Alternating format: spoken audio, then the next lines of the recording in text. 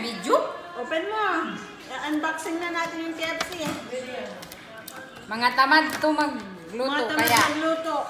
Kaya may nag-order ng KFC. Ano naman? Pero kung wala tayong pera, Ano naman yan? Bread. tayo. mabasa wala. Kutsara. Gravy Gravy. with salad. Salad.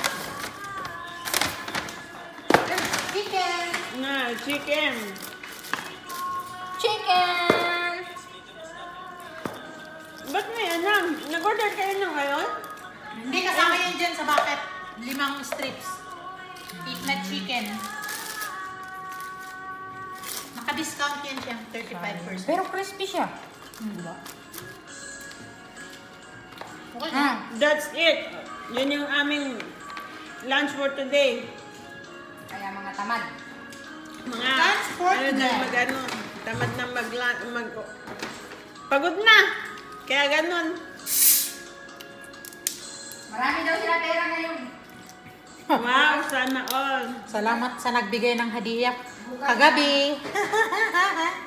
Courtesy of Hadiya kagabi. Bukan wala